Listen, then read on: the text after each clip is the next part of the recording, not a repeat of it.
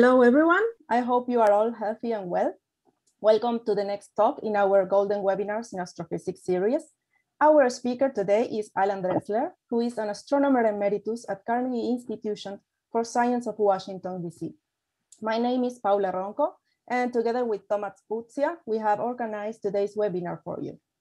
As in our previous webinars, simultaneous language interpretation is provided by Patricio Gonzalez, who will be simultaneously translating for us into Spanish. En sus dispositivos pueden escuchar la interpretación al español de la conferencia al pinchar el botón de interpretación que se encuentra en la parte inferior derecha de la ventana de la aplicación Zoom y seleccionar español. We would like to acknowledge the general support of the Center for Astrophysics and Related Technologies, also known as CATA for its Spanish acronym. Thank you so much for all your feedback and comments. Um, if you're watching this talk on YouTube, please leave your comments below. Mm -hmm. If you would like to support the Golden Webinar series, please send us your feedback by email. If you have any questions during the talk, please type them in the Q&A window. You can also upvote questions and also comment on them, and we will select then the best questions for the discussion after the talk. This is just a reminder that the link of the live version of this video will be automatically taken down by YouTube shortly after the streaming is over. However, the final high resolution version, both in English and Spanish, will be uploaded to our channel in the next few weeks. So before we begin, I would like to briefly introduce our other panel members that are with us here today. Alan, of course, our speaker, Patricio, our interpreter, Paula and myself. And then from the faculty um, of the Institute of Astrophysics, we have Patricia Tissera, Gaspar Galaz, and our director, Felipe Barrientos. We also have from the Institute of Astrophysics, Tuila Ziliotto, who is a new graduate student at the Institute, Demetra De Cicco, who is a postdoctoral fellow at the Institute, and Elizabeth Artur de la Villarmois, who is also a postdoctoral fellow at the Institute. We also have the great pleasure to welcome our guest panelists today. So we have Valentina Abril, who is a recent PhD from Aix-Marseille University and an upcoming postdoctoral fellow at the Space Telescope Science Institute. Yara Jaffe, who is a professor of astronomy at the Institute, uh, the Instituto de Física y Astronomía of the University of Valparaiso. Rohan Rahat Goankar, who is a research intern at Gemini Observatory. Miguel Roth, a representative in Chile of the Giant Magellan Telescope Organization. We also have Mauricio Paolillo, a professor of physics and astronomy at the Department of Physics Ettore Pancini of Università degli Studi Federico II. Uh, Tommaso he's a professor of astronomy at the University of California in Los Angeles. And also we have Gustavo Bruzual, who is an astronomer at the National Autonomous University of Mexico. And last but not least, we also have our excellent Q&A manager, Ricardo Acevedo. So it is our great pleasure to introduce Alan Dressler as our, as our golden webinar speaker today. Alan received his bachelor in physics in 1970 from the University of California, Berkeley, and in 1976, his PhD in astronomy from the University of California in Santa Cruz. He then advanced his, with his uh, research as a Carnegie Fellow, and after that he stayed here in Chile with the Las Campanas Fellowship. In 1981, he returned to the United States and became a staff astronomer at Carnegie Institution for Science of Washington, D.C., where finally was elected as an astronomer emeritus. In 1983, Alan was awarded with the Newton Lacy Pierce Prize in Astronomy from the American Astronomical Society and in 1999, he received the Public Service Medal from NASA. In 2017, the Aura Hubble Space Telescope and Beyond Committee, chaired by Alan, received the Carl Sagan Memorial Award, which is given to an individual or group who has demonstrated leadership in research or policies advancing exploration of the cosmos. Alan's area of research is the formation and evolution of galaxies, focusing on what leads to the diversity of different types and properties, including such as uh, galaxy environment and interactions.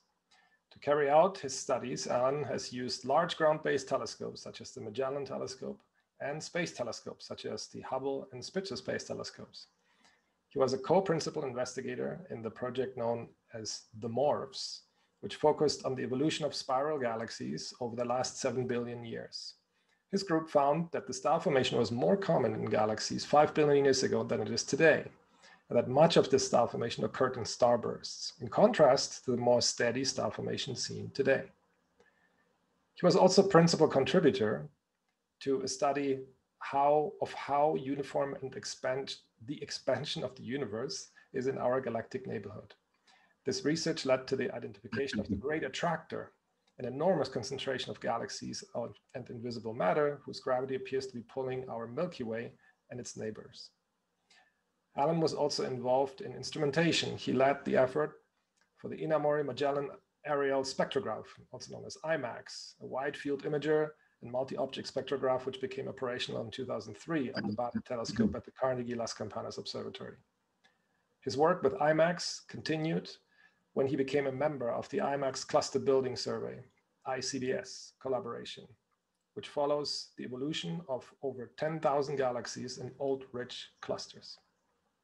So now we hand it over to Alan, who will tell us all about exploring origins and seeing the birth of galaxies with the James Webb Space Telescope. Alan, the audience is yours. Welcome, everybody. Well, we've heard the title and everything, so I think I'll move right to the subject. This is going to be about galaxies. They are the building blocks of the universe we have today Hmm, they are the building blocks for very many reasons. For many reasons. For one, they are the homes of the stars. Stars are making the chemical elements. You know, everything we know in life are made. The planets orbit the stars. All this takes place in the galaxies, and the galaxies are spread across. They are ubiquitous. And so, in these very simple ways, we can say that they are the building block However, this ignores the dynamism that goes on in a galaxy. Stars are being born in galaxies in many kinds of environments. The stars age, the stars have different ways of dying, like the supernova explosion. And the gas that they expel when they die winds up back in the galaxy to make new stars. And this cycle continues for most galaxies over their lifetime. So a galaxy is an engine, it's a machine churning out amazing stuff. All the complexity in the universe, which is everything we're interested in, is, is there because of galaxies. And it's the reason that our universe has a future. If there were no galaxies, if there was a universe of no galaxies, there would have been no future because it would have just been Big Bang, inflate, hot, expand, cool, done, finished. No golden webinars. Here's a kind of a typical galaxy. Um, it's very hard to get a sense of galaxies. They are so beyond human scale. There are about 100 billion stars in a typical galaxy. That number itself is not extraordinary. There are 8 billion people on Earth, so we can assign 30 stars to every Earthling. We kind of count for that. It's really in the size of galaxies that our senses are completely overwhelmed.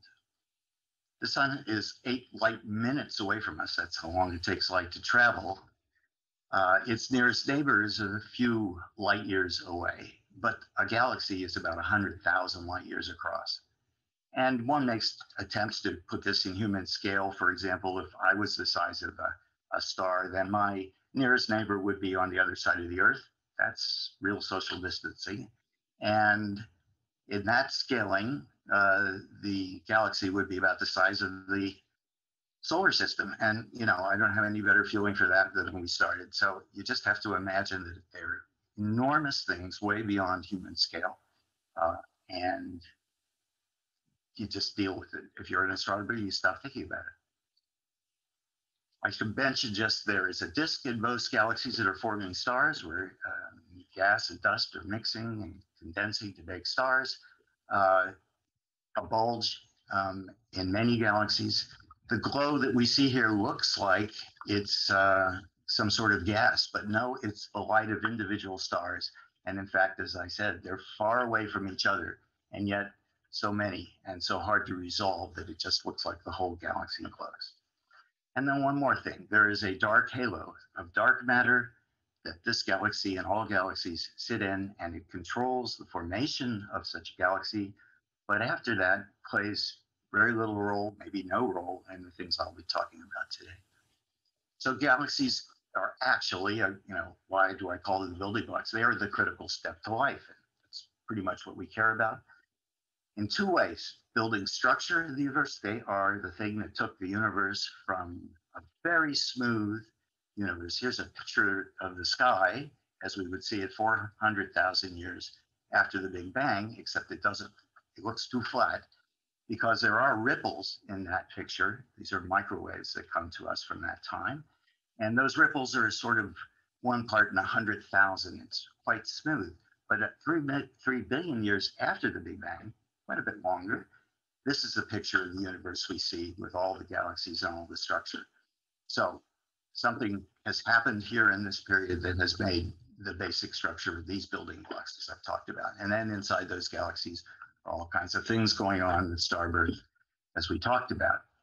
On another fundamental level, though, uh, galaxies are enabling chemical evolution. We have generations of stars that, through fusing light elements into heavy elements, are producing light, but generating the heavier elements in the chemical table, so including carbon, nitrogen, oxygen, all those things.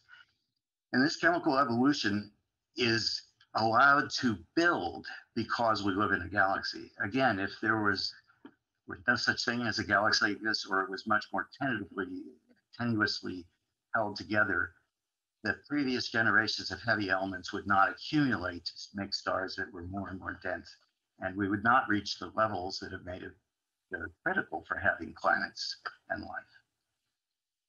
So a little bit more about the structure. Galaxies are spread across the sky. This is a picture made of individual galaxy locations, a map of galaxies across the sky. Every map, every point here is a is a galaxy, and we're down in this point uh, looking out on this.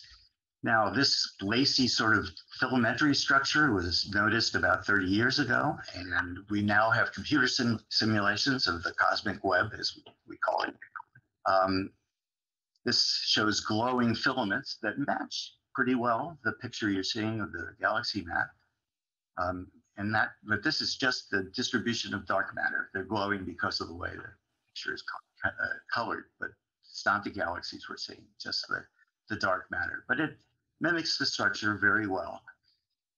Here's a little movie showing uh, three-dimensionally how this happens, how we go from the smooth universe to one that's clustered together by Kravtsov and Klypin. Uh, this structure, which is how we get these filaments, arises because of gravity pulling on everything, pulling on everything else, but also and critically because the universe is expanding. And it's that expansion plus contraction in places that gives rise to this filamentary structure. That was 13 million years in 22 seconds, but we don't have much time, so we had to do it. The other thing you need to know for this talk, looking back in time, this is a key element. Andromeda is the closest big galaxy to us. Even that is 2 million light years away. So uh, we see what Andromeda looked like uh, long before humans were on the Earth. Well, we can just look further away and to relative size, we see that galaxies tens of millions of light years look kind of like that, hundreds of millions. And finally, here's a picture from the Hubble Space Telescope called the Deep Field, in which you can see things that are a billion light years away, and therefore a billion years back in time. Uh, sorry, a billion years after the Big Bang. And uh, no, I did say that wrong.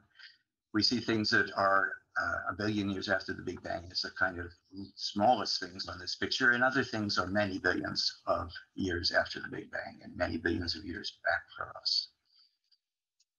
There are, as Thomas said, different types of galaxies, and one of the fundamental questions in the field has been, is the type of a galaxy destined from early in its formation, or are galaxies transformed from one type to another later? And how can we begin to answer that question?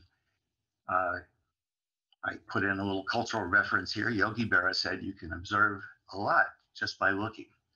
And our means of doing that has been the Hubble Space Telescope. We could attack that problem, which was born in 1990. It had to be repaired. but 30 years later, it's still going strong and is a rich source of science progress in astronomy.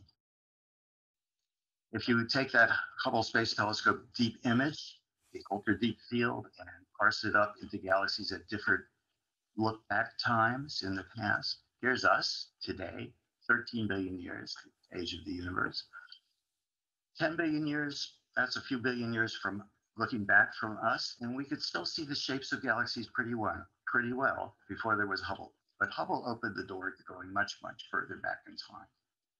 And so we were seeing things that were only a few billion years old. And you can see how things change. Well, is a little one way to sort of sense the, the, the, the, the movement of things. But how do I know I'm looking back that far? Well, because the universe is expanding further out in space, is further back in time. And therefore, if we can measure, because of the expansion, the shift that happens to the light, it's sort of like the Doppler shift, but it's because of the expansion of the universe. We can see that the light shifts to the red, and the greater the shift, the greater the distance to that group of galaxies. So that's pretty much how we get our distances, excuse me. Now, whenever this picture is shown, there comes up a question. How can we look out into space and see things all around us that are older when the universe was smaller when it was older? It's a conundrum that is all wrapped up into the fact that the universe is not three dimensional, it has dimensions of time and space. So when we look out, we're seeing not the whole universe, not any of it, all of it, but a shell, if you will, of a certain time whose light has just reached us now. So when we look out, we see things, and it's all around us because those are the those galaxies were all around us when the light was emitted. So we look out, and in the sky we can see things spread that are much earlier time, normal galaxies, but quite a far back, the Hubble Deep Field and this ultra deep field I just showed. And then beyond to what we're going to talk about later, first galaxies, maybe even first stars. Those are going to be hard to see. And then the universe before it even had galaxies. So this just by looking, well, yes, we could see something quite remarkable here today, uh, galaxies that are about halfway back in the universe. And you can see many familiar types we see today. But as you look further back, to time 5 billion years after the Big Bang, you begin to see many more irregular looking things. And if you look at this last panel, 4 billion years after the Big Bang, well, then galaxies are looking very different. So this is quite an amazing thing. We have pictorial evidence from the Hubble that the universe is changing, that it has evolved. And that is something we never had before Hubble took these pictures. But it doesn't really answer the question about whether the types of galaxies were set up early or uh, much later in time because we don't know how to connect the dots. We don't know whether these galaxies are going to turn into the elliptical galaxies like we see here or the spirals. We're not going to be able to get it just by looking, but it is wonderful to know that we can show that the universe is evolving. So if we can't tell from pictures, but we do have a way of studying individual galaxies and learning how have they grown over time? And the answer is we use the stars that make up the galaxies as clocks. So let's talk about how galaxies grow. It's a scientific program that involves a lot of physics and astronomy. Still, it's a subject much like studying the growth of human beings. In both, the goal is to find out, understand what are the controlling factors that influence growth. This graph shows the growth of girls and boys with age from birth to 12 years old. Growth is nearly identical. This is sort of the 5%, 95% of the sample. Uh, but after that, you see that uh, girls have a bit of a spurt and then boys continue to grow longer than girls. It's a little bit more obvious in this picture to the right. I'm going to stop using my cursor like that, which shows you how rapidly boys and girls were growing as a as function of their age. And you can see this remarkable fact that uh, when you were a baby, you were growing at the rate of 30 inches a year at one point. But it didn't last for very long, fortunately. Uh, and by the time you were a year old, you were growing more like 10 inches a year. And now it's been about, it, it was for the rest of your growth, it was about four or five inches per year. But you see what happens at the end. It's very clear now. Girls go through an earlier growth spurt. I remember that from high, from high school. And the girls got taller, and then the boys come later, but they have a longer growth spurt. And that's why there's that difference. So this describing the average growth rate of people is somewhat satisfying, but it doesn't tell us much about what's regulating that growth. Those simple statistics don't say anything about illness in the first 18, 18 years, malnutrition, genetics, anything. Average growth rates obscure the biological and the cultural factors that influence or control growth. The same is true for galaxies.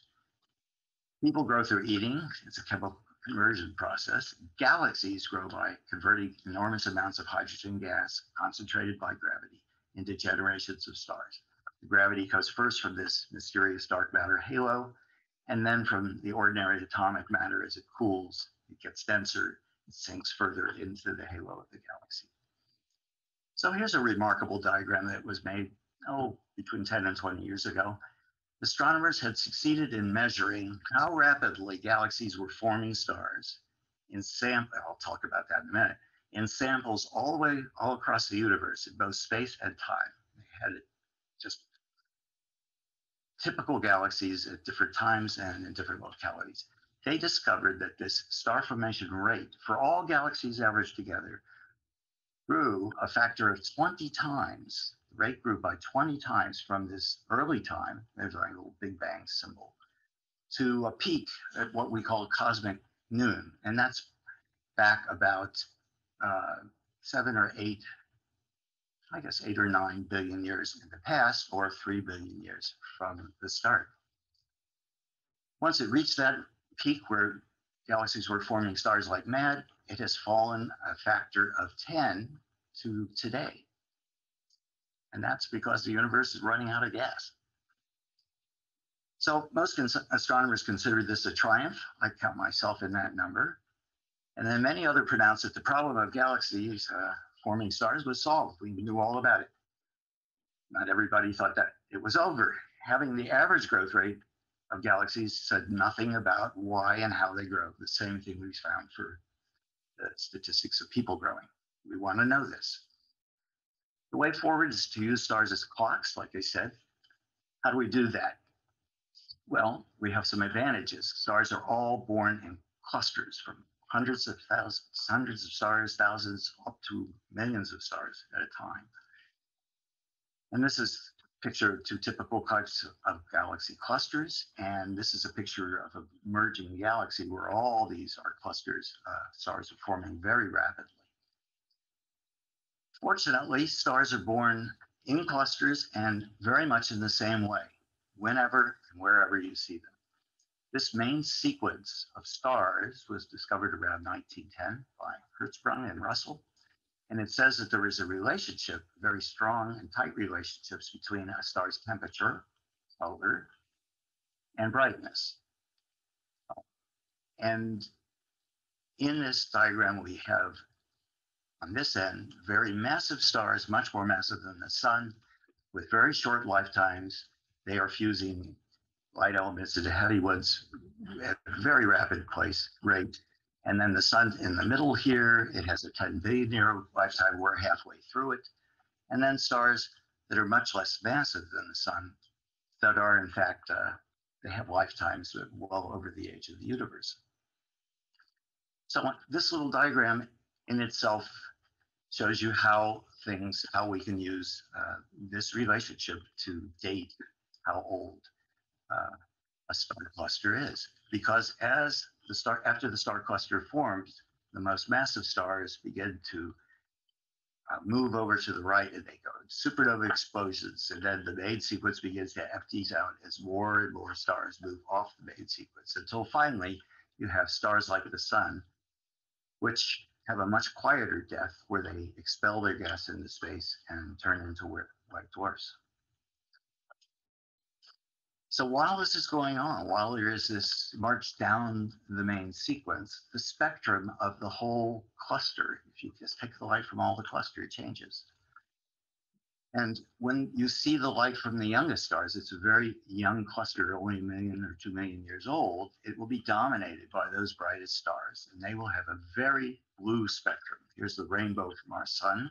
See how much stronger the light is in a cluster that's only a few million years old. As things age, we get down to stars that are sort of a billion years old. This is the rainbow we would see. And then finally, when we get down to the sun, which is here, or the giant stars that are uh, moving off the main sequence into this clump of stars in the HR diagram, begin to look all the same.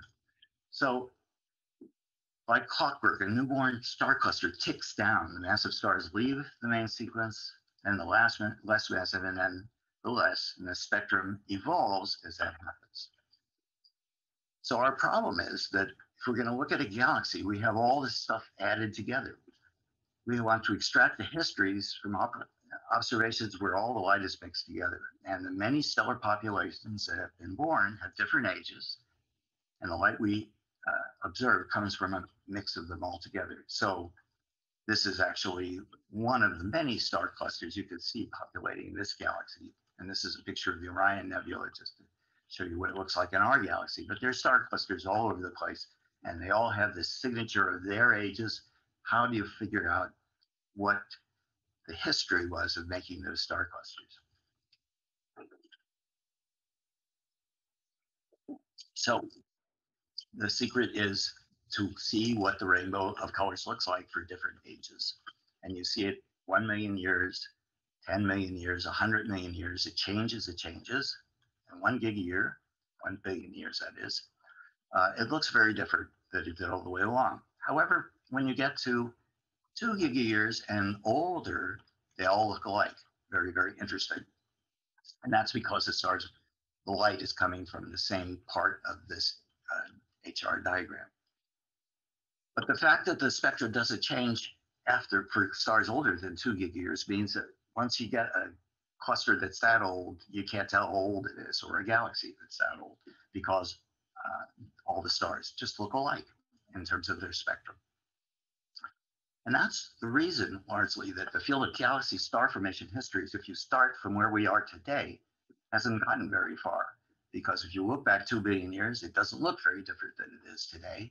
And indeed, uh, it's been these galaxies have been slowing down. So there isn't very much to learn. Everything happened long before that. So there is a way around this. But the idea is to go back in time and then look from there uh, when you have a better leverage on the ages of the stars. This is a study I did with Dan Kelson and Louis Abramson, studying the star formation histories, focusing not on you know the galaxy, the average galaxy, but in fact trying to extract the star formation history of individual galaxies.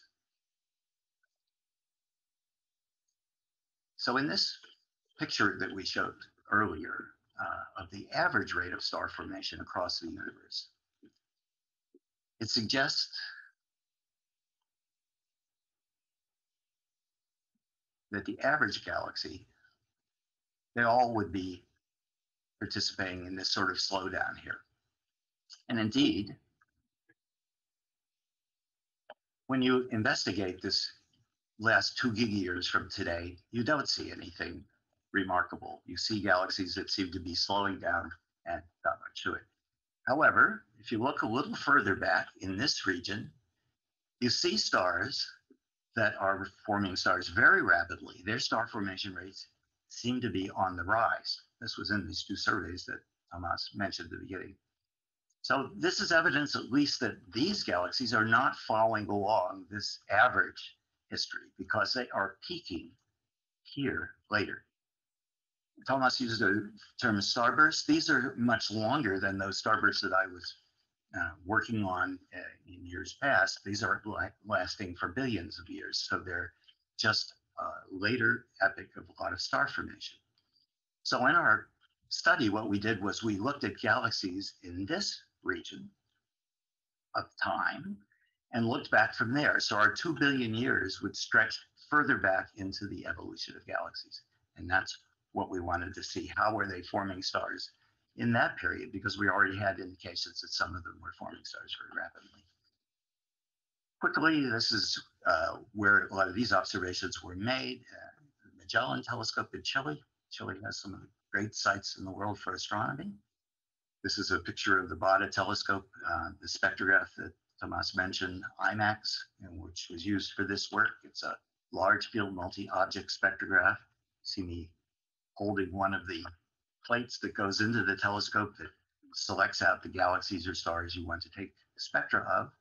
And it's a very large field the size of the full moon. And you get spectra of all the objects out. This particular survey was called the Carnegie Spitzer IMACS Redshift Survey.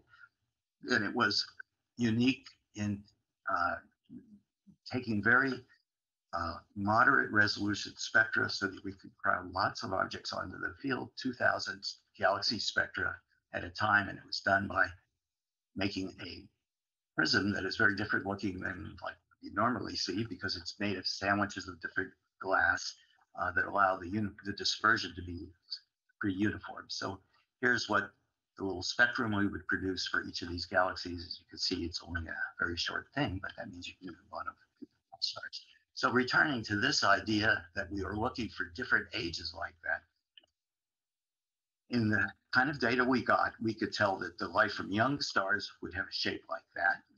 That is much bluer than the star, uh, the sun spectrum.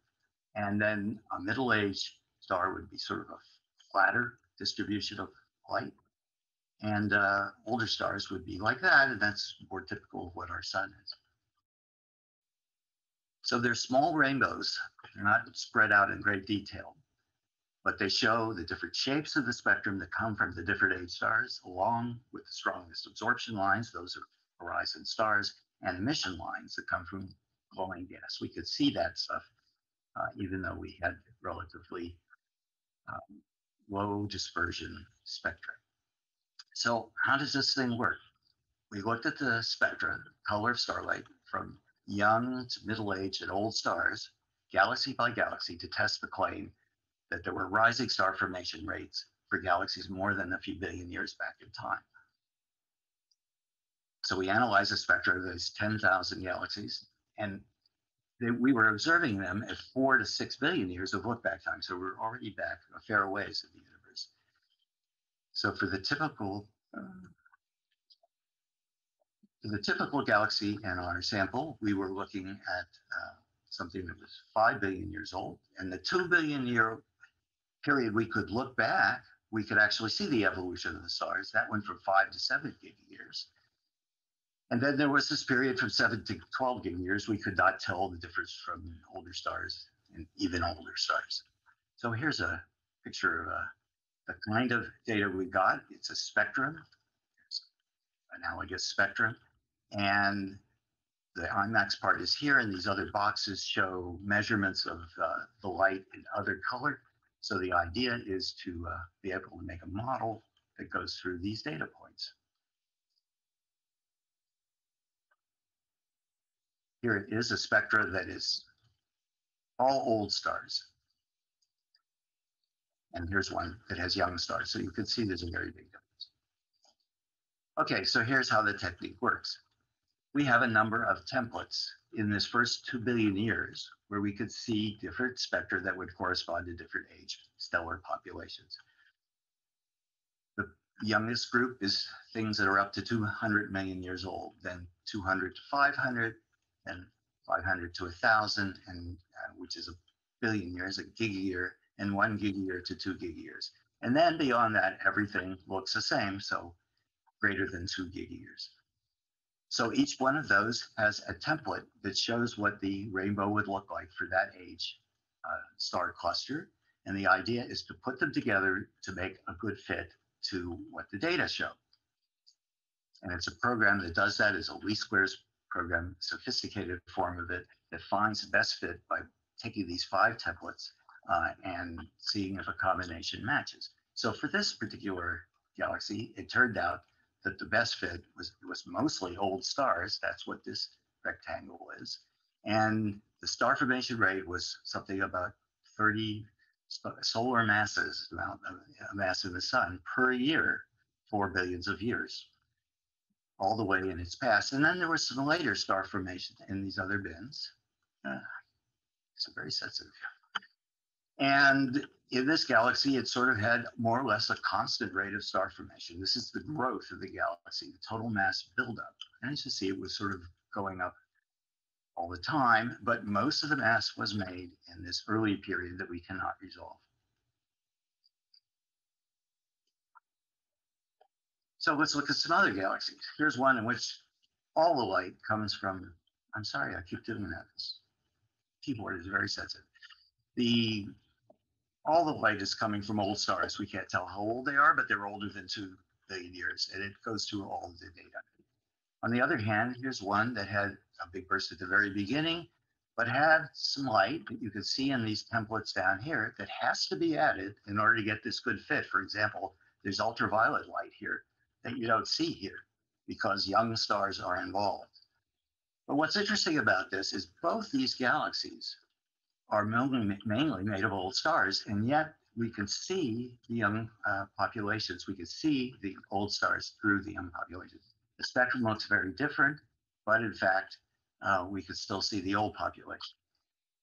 So over 40% of the galaxies, uh, as most people have found, form most of their stars in the first 6 billion years. Another 40% had that sort of steady rise, just a constant sort of star formation. Half the stars uh, in that early period, that half in the remaining 6 billion years. But there was another 20%, and this is where the surprise came in.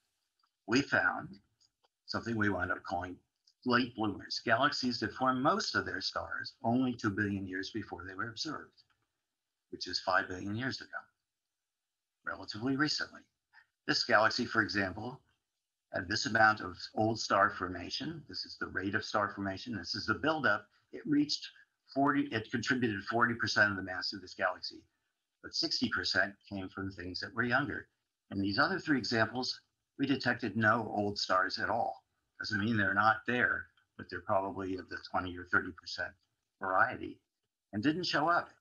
And that's very surprising. It means these galaxies appear to have been born only within the 2 billion years before we observed them. And if they may have had some stars before that, and maybe even a considerable amount, but they are dominated by that younger light.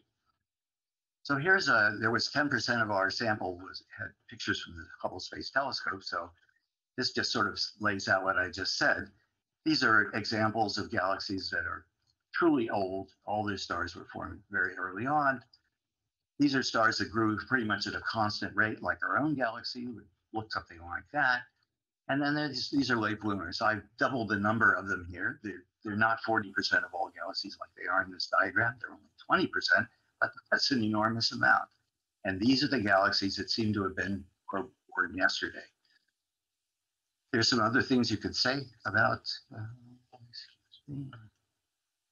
these, uh, the late bloomers are mostly disk galaxies, but they also include some spheroidal galaxies. You can see these things here. And if you've got good eyes, you could tell that even though they look like these galaxies at the bottom, they're old, the color is different. They're whiter because they are not strictly made of stars, or like one to two billion year old stars. And a final thing to say about this is we had to convince ourselves that this result was correct because it was something we didn't, we were surprised to find, and we knew it would look very bad if it turned out we made some big mistake. And we tried for an entire year to uh, to prove ourselves wrong, and we failed. But the way we did that is very sort of classic way. We made our own galaxies. We put in our own star formation histories. Dan Kelson makes what he calls stochastic star formation histories. So we knew what the answer had to be. And the question was, could we hide a whole lot of stars that we just can't see because there's a lot of young stars in there that are blocking out? And we couldn't do that. Basically, we knew there was a great uncertainty in how much the old population was, but it was clearly less than half of the galaxy. And that was a surprise. So here's a summary. You know, ordinary galaxies kind of grow steadily through time. That's most galaxies. But according to us, 20% of galaxies went through this much later evolution. And they really did all the growth here, uh, and then they pretty much stopped growing. They're not doing this today. But if you were to look around us, you should see one out of every five galaxies have this kind of a history. But you'll never be able to tell from now because of the problem I started with two giga years back, and you can't see anything more. So on this diagram, there's an old galaxy. A lot of them grow up very rapidly. There's a Milky Way, pretty much like a human being grows for the first 20 years. And there's a late bloomer getting a late start and then doing all of it in a short period of time. It's an amazing thing.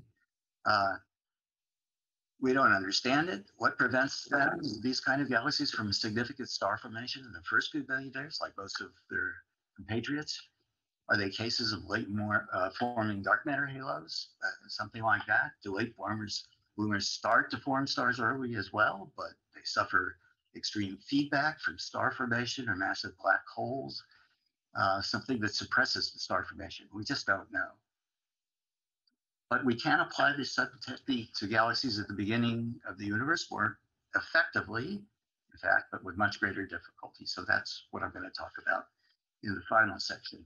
First light. We want to see how the first four stars formed, collected the galaxies, and how did the first generations of stars begin the buildup of chem heavy chemical elements. And as we said, we learn about the star formation and the abundance of heavy chemical elements from these emission spectra, where we see the glowing gas around newborn stars. So we want to know how many stars were forming at the very beginning, how rapidly, what was the abundance, of the heavy elements, carbon, nitrogen, oxygen, magnesium, phosphorus, iron, the chemistry of planets and life that started this whole thing and got us to today. So looking back here on this diagram, we saw that we could get back to within a few billion years of galaxies, but then they seem to disappear with the Hubble and the light fades. This is a picture of the deepest of the image Hubble has been able to take. And you can see these little uh, red circles are around the furthest galaxies. Redshift of 10, sort of half a billion years past the Big Bang. It's very hard to see and not much information to be had on any of them. And the reason is the redshift is increasing, the starlight moves further into the infrared part of the spectrum, and Hubble can't see them because Hubble is blinded by its own infrared glow. There are good reasons to build a space telescope. There better be because they're very expensive. The light astronomers want to observe uh, is observe observe is absorbed by the Earth's atmosphere. If that happens, like ultraviolet doesn't get through, uh, we need a space telescope. The turbulent motions in the Earth's atmosphere blur out the sharp images, uh, and so the Hubble Space Telescope makes much sharper images, and Hubble has really made a living out of that. But for the first time, the main reason we need a different telescope is it's too hot. How can the Hubble be too hot? It's in space. The Hubble Space Telescope is very warm. It's approximately room temperature. That, that surprises you. It surprised me. So it it's because it's in equilibrium with the Earth. It sees the Earth. The Earth is at room temperature, and so it comes to the same temperature. And it glows in the dark. Anything that is room temperature glows in the infrared like this infrared picture here. Uh, we're familiar with this effect when we heat things up to thousands of degrees, how they glow, but it's happening around us at room temperature as well. And there's a lot of astronomy you can do because of this, things that you can't see. This is a dusty region in our galaxy obscuring all the background stars. The Pillars of Hercules, I believe this is called, a great uh, site of, very violent star formation and take infrared pictures, you can see through them and find out what kind of stars are being born, for example. So how do we reach all the way back to galaxy birth? The answer is cryogenics. We have to go really cold. Cryogenic space telescopes, like the Spitzer Space Telescope, which has finished its mission recently, uh, very sensitive, but unfortunately too small to go all the way back to the first galaxies. So there will be there is the James Webb Space Telescope, 50 times the mirror area of the Hubble and seven times the resolution. So I have a history with this project very briefly. I'll tell you a story. After the launch of Hubble, it was found it had a problem with the mirror. It had been polished with extreme precision, but to the wrong shape. And best images were very soft because of what was called uh, spherical aberration. There was great disappointment, and NASA planned a repair mission for late 1993, but they warned us that they were not optimistic. This was the most difficult mission they had ever attempted, including landing on the moon, I was told. So at that point, uh, AURA, the Association for Universities that supports uh, the US Map Optical Observatories and Space Telescope Science Institute that had just been built, sponsored a study to look into the prospects for US space astrophysics if the Hubble could not be restored to its design performance, expecting that case a shorter and much less productive mission. And they asked me to lead a committee to study possible ways forward beyond Hubble. And we began our work in 1993 after this shuttle repair mission uh, that carried a replacement camera and a corrective lens. Uh, and by the time our work was in full swing, the repair mission had become resounding success. And the first, first months of 1994 ushered in this age of, you know, wonder, excitement, popularity that had never been attained by a science instrument, making Hubble Space Telescope, I think, the most successful science program in history. So this HST and Beyond Committee recognized that we had an opportunity because of the enthusiasm that Hubble had generated. We caught this wave and produced what was considered a stirring case for the buildup of Hubble's success with new goals well into the 21st century. And we brought a different approach to this, trying to look at the questions of motivations of scientists, the science and the support of society that funds this kind of work and the nature of fundamental questions. And I have a quote here I barely really have time to read. Our other quest is as old as civilization, perhaps as old as our species. Comparing the ancient myths of many peoples tells us that the question, where did we come from, is one as cogent and profound as we can pose. For an answer, we've continually looked to the sky, the great unknown that has always figured prominently in ideas of human origins and destinies. A remarkable triumph of 20th century astronomy is the demonstration that this notion is true. Our origins and perhaps our destiny lies among the stars. The idea has already captured the imagination of a billion people. Many, many have not found it easy to follow our science, but few have missed the point. The realization is probably why we find so many modern tales linked to space. Bookstore, movie listing, the television schedule, enough to convince any of us that the idea, the great themes of human existence are being projected into space. Our physical journeys into the cosmos may be generations into the future, but our minds already live in the space age. So we recommended that the Hubble should be supported well beyond 20, 2005. It's still going. NASA should build a space telescope with a mirror four meters or larger, optimized in the near infrared to see the first light of galaxies and develop space interferometry towards finding Earth-like worlds around other galaxies. And this gave rise to something called the Origins program in NASA, which lasted five or six years and sort of put all this together. This is the James Webb Space Telescope, uh, uh, illustration of it. It's cold, 50 degrees Kelvin or less, uh, and that is a major challenge to build. It's a different kind of telescope than we've had before. It's large, it's open, it has to be deployed, it's cryogenic and it's very powerful indeed. It has a sun shield that keeps it cold. I'm happy to show after years and years of showing uh, illustrations of or pieces of the Hubble that this is a picture of a finished, uh, finished James Webb Space Telescope. But I didn't say Hubble a bunch of times there. So this is uh, fully assembled and you'll see some pictures uh, this is looking at this all important sun shield that has to keep the telescope in the dark so it doesn't heat up. It has five layers that are separated by vacuum when they're in space and it takes those five layers to step from the temperature that it would have if it were in sunlight to what it has is 50 degrees.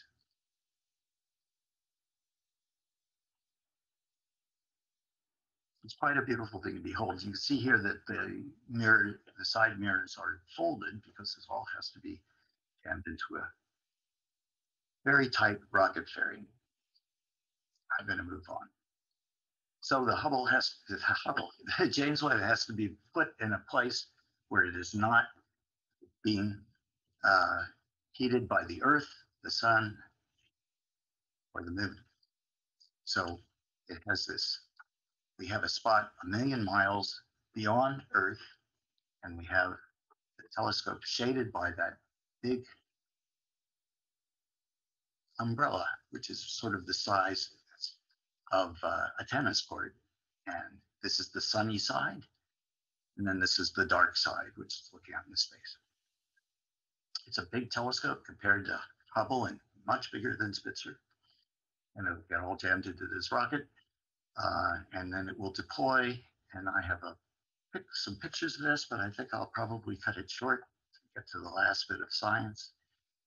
But that's the solar panels coming out. That's the communications antenna. That's the sun shield being deployed on one side. And then the other, it turned out that fabricating this sun shield and getting it to work reliably, and it must, because if it fails, the mission will suffer greatly, uh, was uh, very, very tricky. I think the mirrors have been finished for the telescope uh, for six or seven years, but the sun shield has been worked on right into this last six months. So that's what it does. And you'll see these things pop out from each other. So you can see it's a pretty complicated uh, deployment. I don't think anything like this has ever been done. And that's why it took so long. This telescope we got sort of started in 2000 and it's now 2020. And it's costed a bundle. So you see the layers eventually are spaced out to provide the insulation it needs to keep the telescope cold. Well, the last thing that happens is the secondary mirror comes out and deploys, and then the Hubble, uh, the, the, the mirrors of James Webb fold out. I'm working with the NIRCam team. Uh, there are three instruments, uh, infrared camera, a spectrograph, mid-infrared image camera and spectrograph. And um, we have a joint collaboration between the NIRCam and the NIRSpec team to study galaxies in first light. So it's these galaxies that look like this with the Hubble that we really are going to focus on. Maybe they're going to look something like this. These are merging galaxies in our modern times. But because these are mature galaxies, they probably don't give us much of an idea of what this very dynamic and chaotic first time was is going to look at look like. Um, here are some examples of what uh, younger galaxies. Maybe these are the kinds of things we'll see. Um, but again, we don't know, are these the predecessors for uh, you know, ancestors of spiral galaxies or elliptical galaxies? We really don't know. So I think I will skip here the exact description of what we're going to do, um, but we're going to take very deep fields like, like Hubble did, um, the, with the James Webb's deep fields, uh, and it will address questions like what did the first galaxies look like? How did numbers and masses grow in the first 100 million years? And how does this crowded, gas-rich, highly dynamic or explosive environment uh, in which galaxies were born shape what they are today? So I'm going to use those images, which are uh, the, deep images, which we've taken in nine bands to make sort of spectra again, energy distributions, to see what the star formation histories were for the first galaxies. And because the universe is less than a billion years old, I no longer have to worry about all the stars that look alike because we have only this period when the light is changing very rapidly with age to um, figure out what the uh, uh, the rate of star formation has been in that galaxy. So here's what the data are going to look like. This is the analogous of what we were seeing before with IMACS. This is what an infrared uh, spectrum will look like, the nine bands that will be measured by uh, the NIRCam deep imaging. And there's a very different looking one. And here you see a star formation history uh, that has been extracted from FITTI in just the same way. There are templates for each different age group. And we get this fit, which is this pink line here, magenta line, and that fit determines what the star formation history is like. Uh, Kevin Hainline from Arizona made a series of mock galaxy spectra by putting in a star formation history, and then I ran my least squares program to try to recreate it. So this is actually obscuring. These are two bursts of star formation that were put in, and the three squares indicate what my program said the history of the galaxy was. There's a blue arrow had a hidden here. Each model he made has two bursts of star formation and then the beginning of continuous star formation. This is one in which what we put in was exactly what came out, two bursts and continuous star formation. Here's another one where in fact the two bursts are seen as one. The star formation uh, begins a little bit earlier, but this is pretty good agreement. We're seeing the whole history of this galaxy back to 12, 13, 14 billion years uh, from just getting one measurement.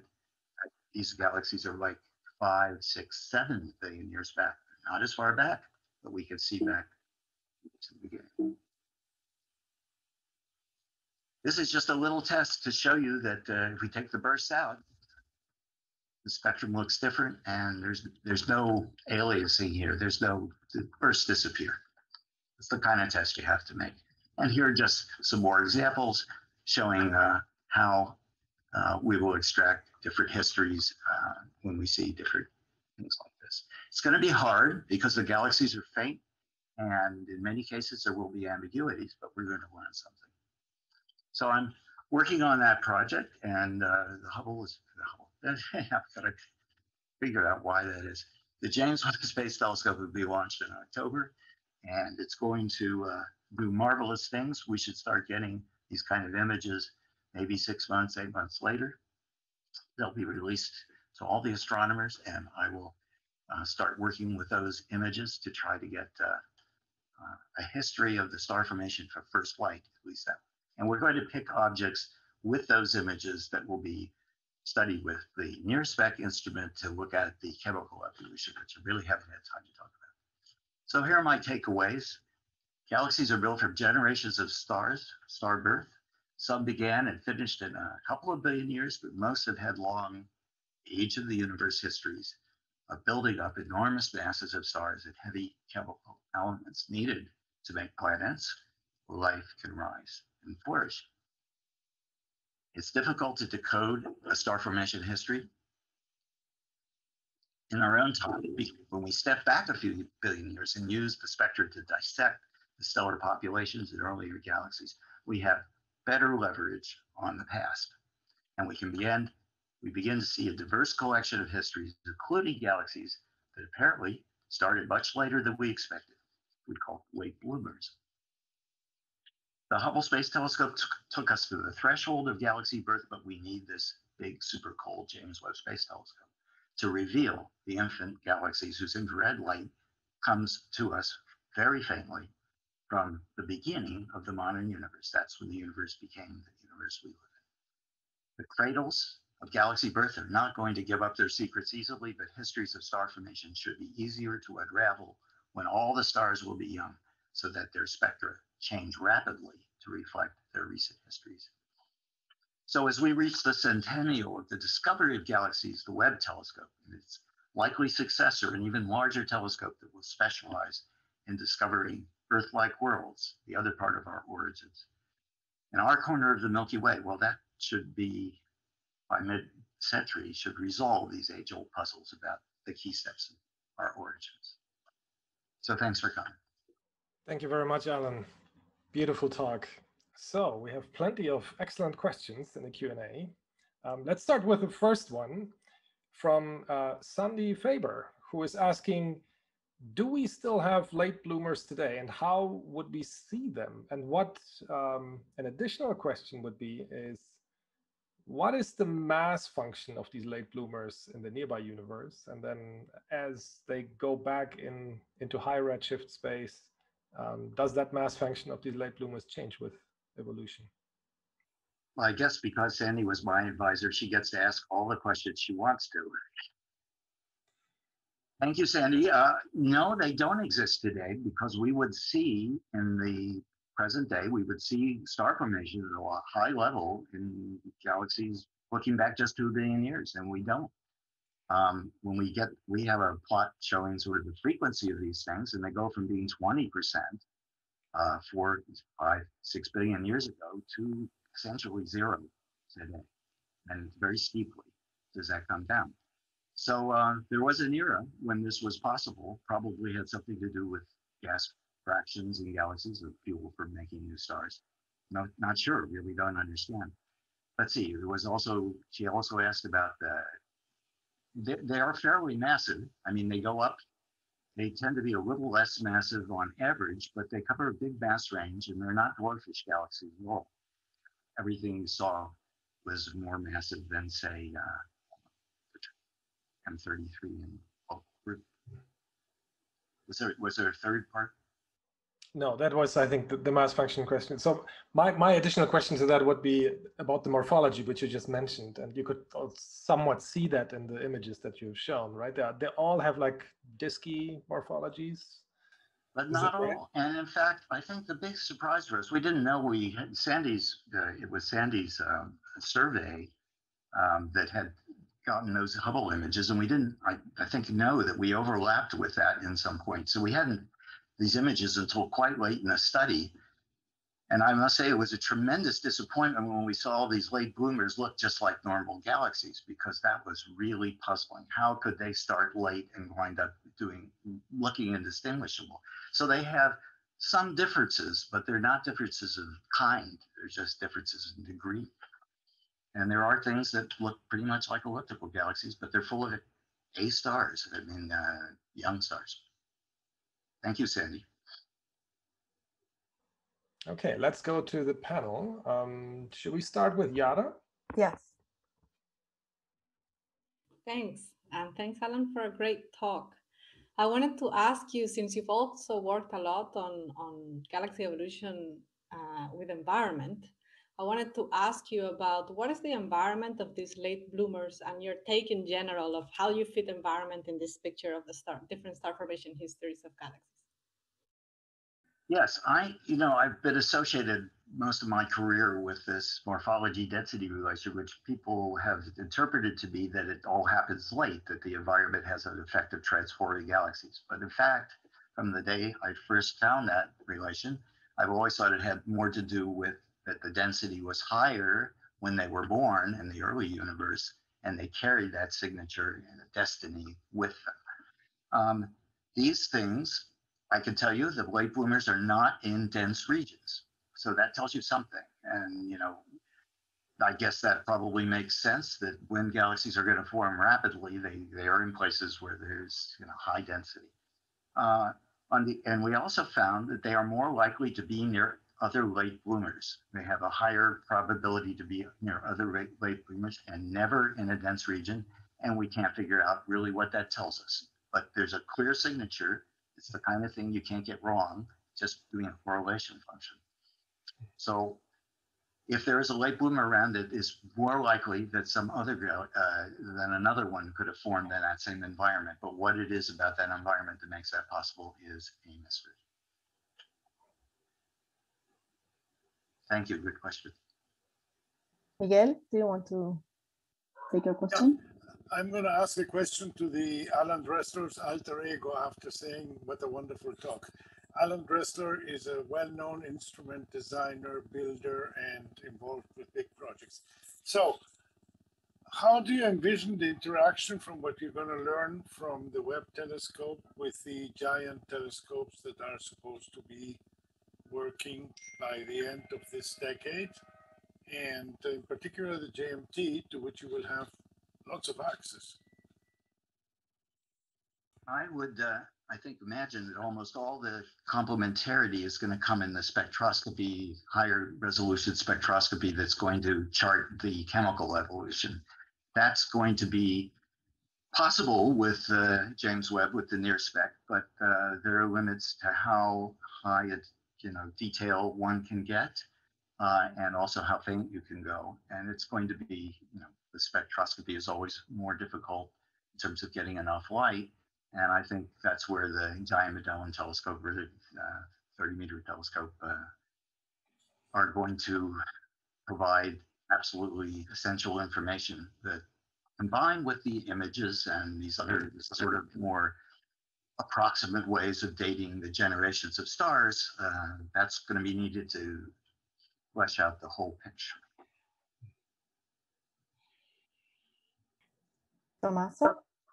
Yeah, I'll ask a question to another one of Alan's alter egos, Alan, the visionary. So, you know, you proved that you are very good at that with the, you know, Hubble and Beyond report. But now I have a, a question that your analogy with human beings make me think about, and this is something you and I and Louis has, has discussed before.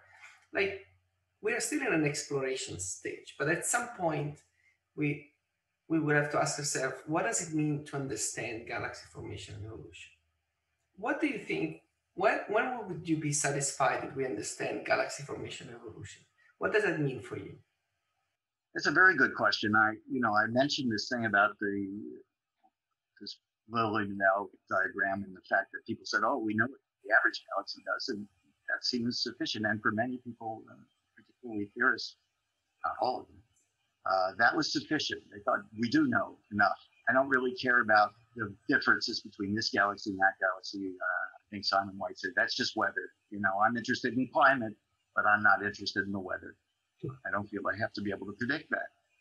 It's just a variation I'm not interested in. So I guess minimally, I would like to know if there are different histories, what is behind driving this, what physics is behind driving this history. Uh, it seems difficult to imagine that we will have the kind of detail, we won't, about those early galaxies that we could do in nearby galaxies where we could take them apart star by star. We can ask questions about how they incorporated other galaxies around them and merging and rip them apart. So I don't expect that we have to hold out for that. Uh, we're going to try to analogize between the, the very detailed observations we have today and the much more uh, qualitative, but in sense, completely uh, unprecedented kind of things we'll see at the very beginning. So I think we have to, to say we're finished, we have to be able to sort of explain how it all got started to lead to this and what is all the variation we see in between. But uh, I'm kind of optimistic that by 2050, with these instruments, we will uh, achieve that and that the focus will really go into the more uh, origin of life and uh, planets and such. I hope so. Thank you. Thank you, Tommaso. Now, Maurizio. Thank you. Thank you, Alan. Uh, you uh, gave a very nice overview about uh, you know the properties and the evolution of galaxy, what we know and we don't know. So picking up from question also from the audience, uh, galaxies carry also an imprint of the universe we live in. So what is your feeling uh, of how they trace the universe, for instance, in the sense of the type of dark matter that we have in the universe, how gravity works, how would they be different if the ingredients are changed?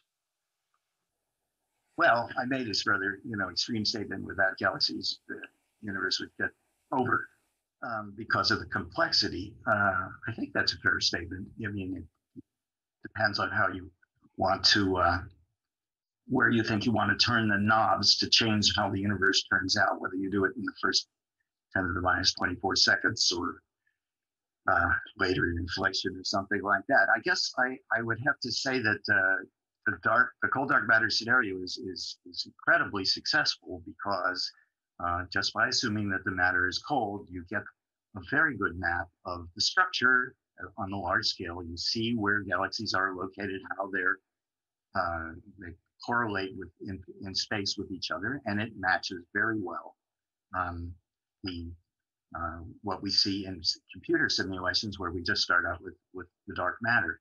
I feel that the attempts to make galaxies on those things have been much less successful because they really have uh, only reproduced what we already knew, what galaxies look like and how they form stars and all those kind of things. Uh, they haven't really predicted anything about star formation and galaxy growth we didn't know before. Um, but when it comes to the large scale structure of the universe, I think they've been very successful. I don't know if that really answers the question, but I think it's important for everybody to realize that uh, the large scale structure of the universe uh, may be close to a solved problem.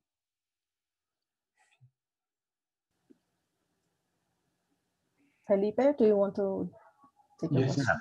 Is there a follow up on that? There? me, I didn't understand, Felipe, what you mentioned. No, I'm satisfied. That's fine. Oh, perfect.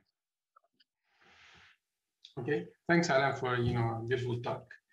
I have a couple of questions, and um, uh, do you see or expect a, a, difference, significant difference in the chemical evolution of you know the galaxies in the bulk of you know the cosmic star formation epoch and the late bloomers? And, and if that's so, uh, I, you know, having a question from from the the Q and A, Rodrigo Freitas asks, does the peak uh, in cosmic star formation history imposes a minimum cosmic age for galaxies to be habitable? So if you can relate those, it would be great. Yeah. By the way, uh, the second part of that thing, I thought about that a lot, a long time ago, but uh, this question of when is the universe first habitable? When does the heavy elements get up to the point where you could have planets? That's kind of life we know about may not be all that there could be. Um, but that's got to be pretty early. I think almost any way you sort it out, you could see that in some places in the universe, it becomes rather modern looking with solar abundances of heavy chemical elements within a billion, certainly the first billion years. Um, and so I don't know what to say about the late bloomers. We talked about that uh, around here. Um, we haven't really made the kind of detailed measurements that we need to do my suspicion is it's not going to look very different because uh, these galaxies probably formed in places that have not been, uh, I would say polluted, but have not been, uh, had heavy elements dumped on them. So they're probably starting from scratch, pretty much like galaxies born much earlier. And we know that the uh, galaxies look very much the same. So it seems like they are going through, you know, the same processes. Like you know, like I said, we were very surprised and worried when we didn't see very different looking galaxies. But then again, you have to ask, well, this is what happens when you put matter, you know, baryonic matter together with dark matter and you, know, have make molecular clouds. Maybe it's all very, very similar, uh, regardless of when you started. If that's true, the only question is why didn't it start at the beginning with everything else? And that's a that's a puzzle. But we need to make those measurements. They're not be, they're not beyond uh, uh, our ability to get very detailed spectra and see if we do see something different uh, in heavy elements abundances and cetacean and things. Uh, we're going to do that, or somebody's going to do it, if not me.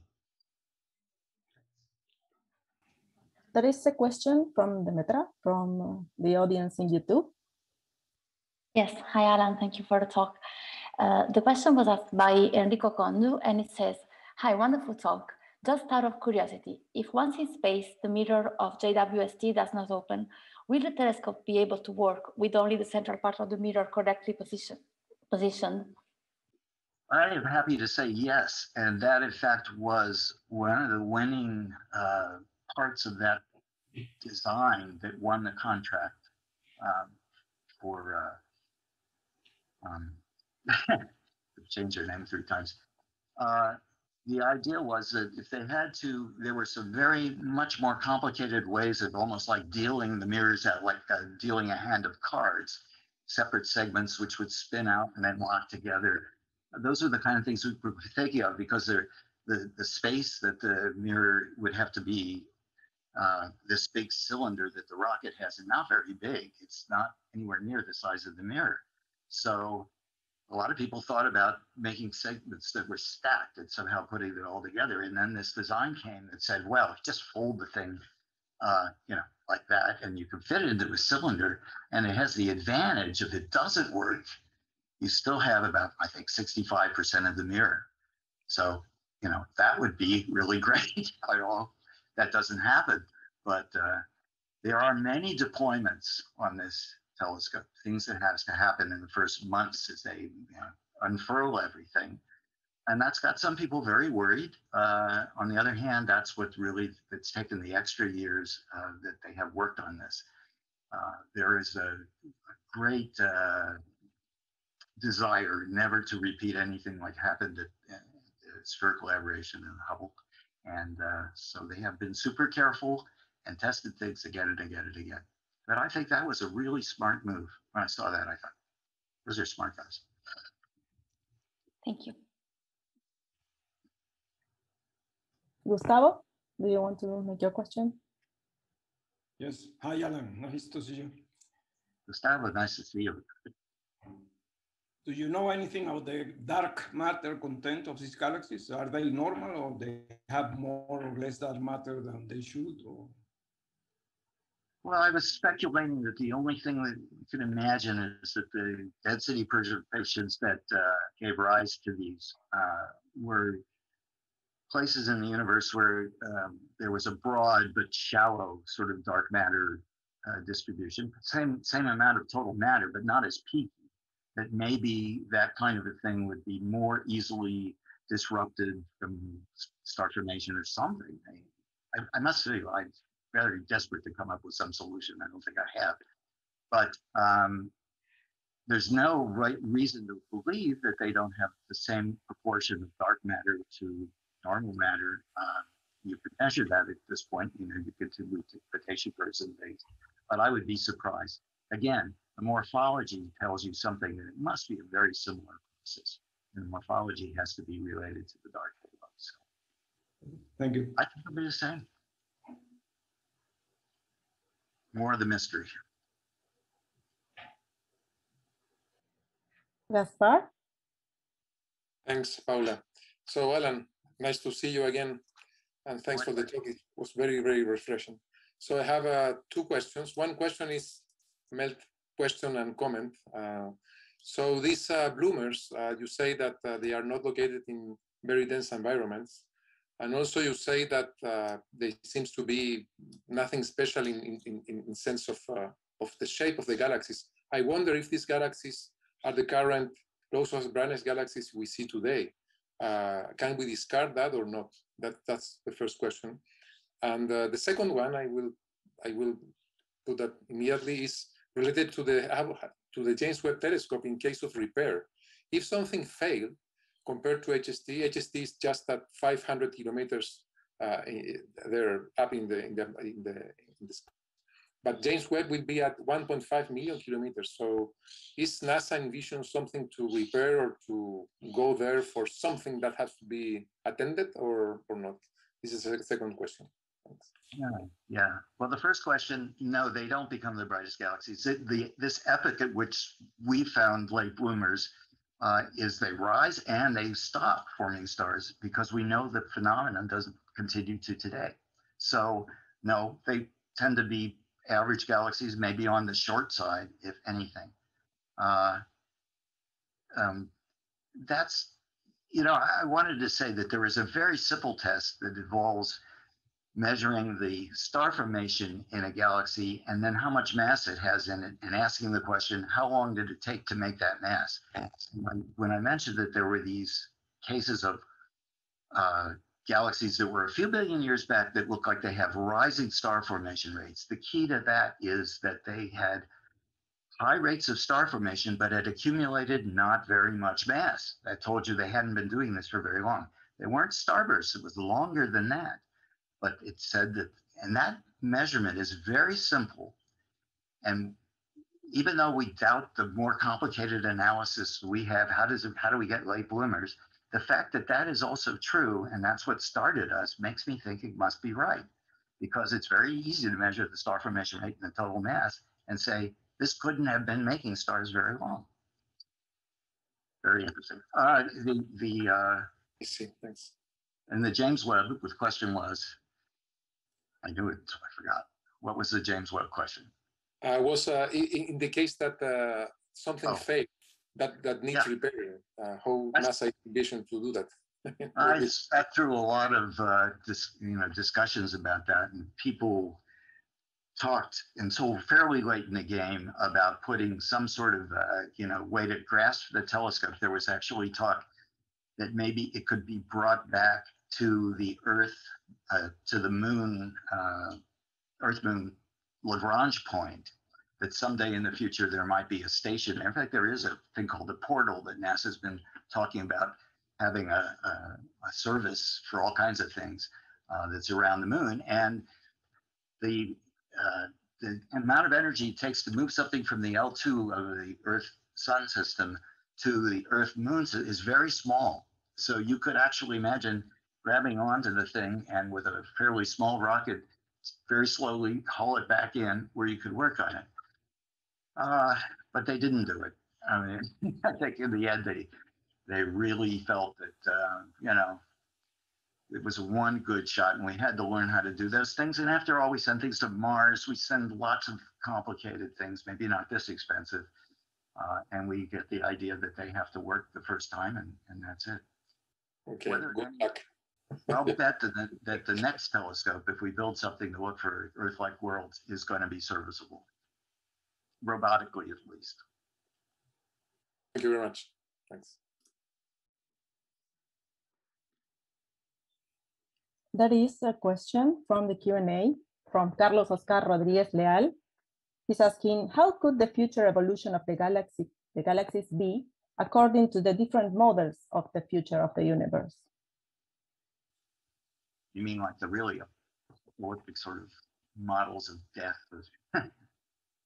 um, I'm not an expert about this. Uh, present cosmology, I think we believe that the universe will kind of coast to a stop.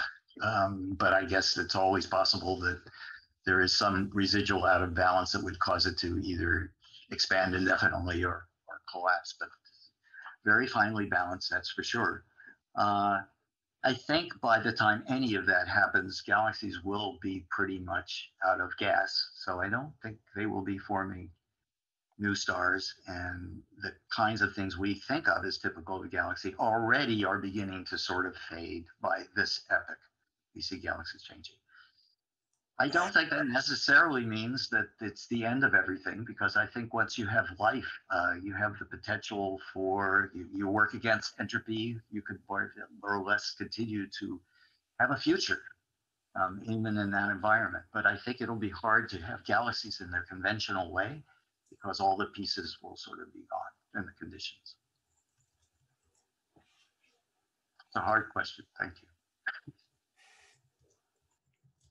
Valentina, do you want to?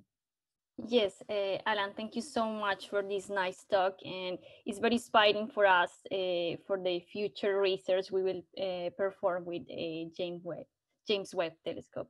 So uh, I have a question about nowadays we know that there are two main mechanisms by which galaxies gain gas. So by infalling gas from the cosmic web or by merging of galaxies. So uh, with James Webb, uh, we will go deeper on the uh, determination of uh, at which rate which of the processes is more prominent than the other uh, through cosmic time. It will help us to to to determine this. Um, I'm really glad you brought this up because I didn't have time to talk about where the gas comes from at all, and it's so um, it's so essential to this process.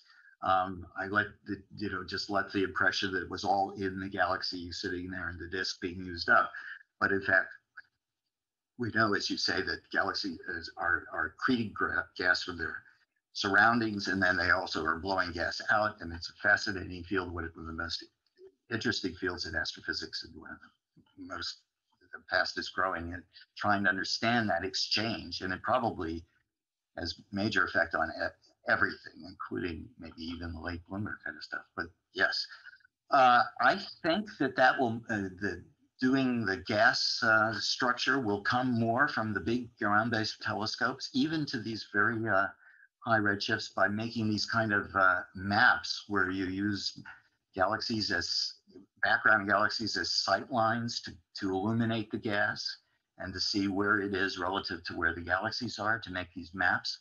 Uh, I don't think the James Webb, despite its power, doesn't have, I think, the, uh, the high enough dispersion uh, and the background sources. I don't think it's as well suited as, for example, the big, the next generation of gigantic ground-based telescopes. That's one of the cases that was made for building them was to turn to not so much studying the, the stars in the galaxies, but the gas part of the universe. So I think that is going to be a huge area for growth, but I don't think, could be wrong about this, but I don't think James Webb is going to be the instrument of choice. You know, it's always a matter too of what does the pro- what does the problem best.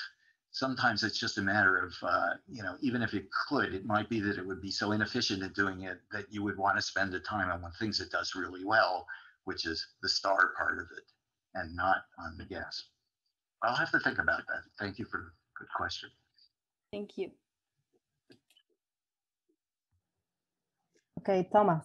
Yeah, I I want to I want to take up this thread from Valentina and and pull it a little bit further and weave it into a beautiful knot of a meta question combined with other threads from the Q&A here um, that that are massively inspiring about um, so the the fuel for star formation right we we sort of again discover this right now where where the fresh fuel is and we very well i would say understand what the local uh, group is doing in terms of its star formation history by means of resolved stellar population studies so if you in your modeling of these star formation histories right the ingredients that you're taking um, are always calibrated on the local universe, right? The chemical enrichment history, the population synthesis models that, right, we have a world expert here with us, Gustavo Bruzual is, is putting them together, right? If you, if you take this, right, you're locking yourself to the formation and evolution history of galaxies in the environmental type of the local universe. Do you think that these late bloomers in your modeling of their star formation histories might actually have an aspect to them, like a very bizarre chemical enrichment pattern, let's say just being fueled by fresh primordial gas in a very metal, you know, depleted or metal poor um, star formation mode that we just, you know, haven't seen. And you basically discovered this as and call them in a sense of the framework of the local volume star formation model ingredients, late bloomers. And do you think we have to somewhat adapt our understanding and broaden maybe our modeling when we go to the high redshift universe, when we, you know, have to worry about IMF, um, the cumulative IMF, uh, you know, enrichment patterns, what what outflow energies of the different feedback mechanisms we have to deal with. Is there you know is there like let's say room for more broader speculation than just calling these galaxies late bloomers? Okay fair question. Um, i don't think the ages since they tend to rest on o and b and a stars and their kind of evolution is pretty simple compared to less massive stars i don't think that part of it is in danger of uh, well they wouldn't look like that account of the metal. And the other thing I guess I would say about that is we have studied a lot of galaxies back to four or five and six billion years. Uh, and, you know, people are surprised how much they look like modern galaxies. That it's after that, earlier than that, when uh, things really start to change. On the other hand, you know, I certainly think you are absolutely right when you met you put that kind of uh, concern into studying the first galaxies uh, because then we are going to see very different conditions and very different uh, metal abundance patterns. I, think I would, if Gustavo uh, would like to come into this, I would uh, would like a comment from him. Gustavo, would you like to comment on this? Well, not really. I, I was wondering what's, what makes this galaxy so different. They, they look like people call them delay systems. Right? for some reason they, they didn't start on the proper. Maybe there was not enough hydrogen, or they were in, in a place without a very uh, deep uh, gravitational welfare. But apparently, after they overcome the delay, they seem to be similar. I don't know. Do we know anything of the alpha enhancements in these galaxies? Are they reaching but that's a that's a great thing to do. I mean, what what Gustavo is referring to is that uh, there are tip-offs about uh, aging of populations being based on uh, the alpha elements in the periodic table uh, showing up first from more massive stars, and then the iron and heavier elements showing up later, billions of years. So, seeing if that pattern looks the same in these things, which are supposedly much younger is a great idea.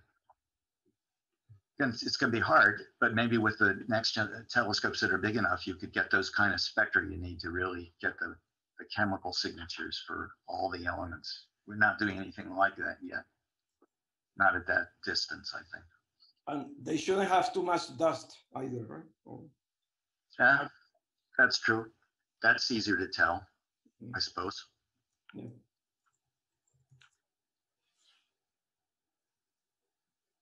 Good question. Gaspar?